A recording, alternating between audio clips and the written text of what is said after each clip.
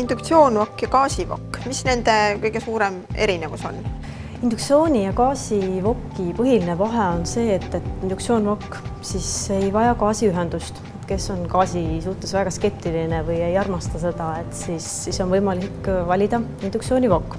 induktsioonivokk on selles mõttes hästi mugav, et tuleb kaasa selline mugav vokipann ja induktsioon ise tuginevalt siis selle tehnoloogiale siis on ka samamoodi hästi kiire on võimalik saavutada hästi kiiret äh, kuumust väga lühikese ajaga, nagu ka gaasi peal. kas toidu valmistamine on, on sama kiire kui gaasi peal või, või hoopiski kiirem? kuna induktsioon on hästi võimas, siis tegelikult äh, toit valmib põhimõtteliselt sama kiirelt kui ka gaasivokil Öeldakse tegelikult jah, et, et elaval tulel valmistatud toit on midagi muud, et mõneti võib sellega nõus olla, kuigi tänapäeva kiire elutempo juures ma arvan, et, et keegi seda niimoodi oluliselt tähele ei pane. varsti on tulemas jõulud ja kindlasti on köögis toimetamist tavapärasest rohkem. ütleme, kui rääkida kompaktsetest lahendustest, mis De Dietrichil välja pakkuda on? Dietrichil on kompaktsetest lahendustest hästi tore eraldi pliidiplaatide sari, seda nimetatakse kollektsioon kolmkümmend kaheksa.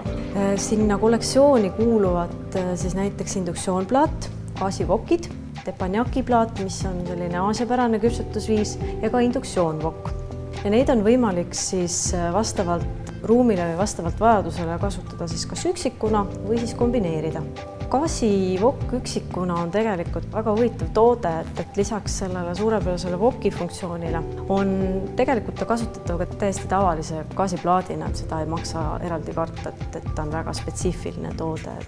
võib-olla eestlasele tundub natukene võõras süüa valmistada teppanyaki pliidiplaadil, aga kuidas see käib? tegelikult on see hästi lihtne, teppanyaki pliidiplaadil valmistataksegi otse plaadi peal süüa tuleks lisada õige pisut õli, et see toit sinna kinni ei jääks, aga kõige enam valmistatavad road seal peal siis oleks näiteks köögiviljad, mereannid.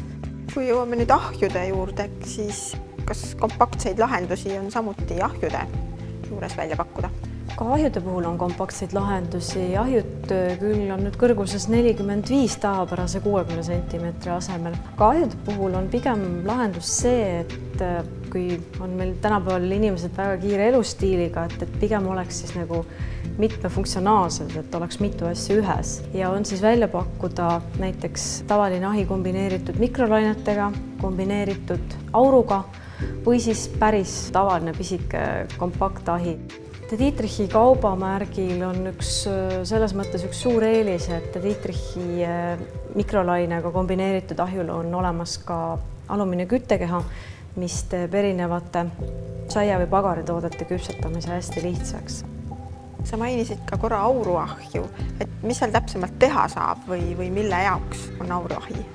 auruahi ongi nagu nimi ütleb, et ta on konkreetselt aurutamiseks, et auruahi ei ole mõeldud küpsetamiseks, seal ei ole võimalik küpsetada kooki, kuna kogu küpsetamine toimub kuuma auru põhimõttel ja puudub küttekeha.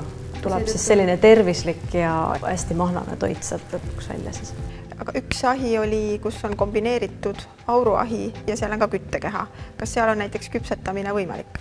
seal on küpsetamine võimalik, võib teda võrrelda siis niiskes keskkonnas küpsetamisega